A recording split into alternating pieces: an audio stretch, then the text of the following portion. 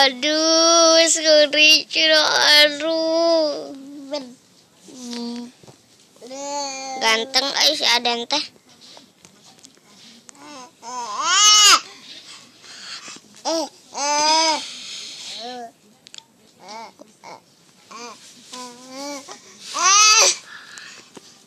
Aden, kita bertemu lagi di Peken.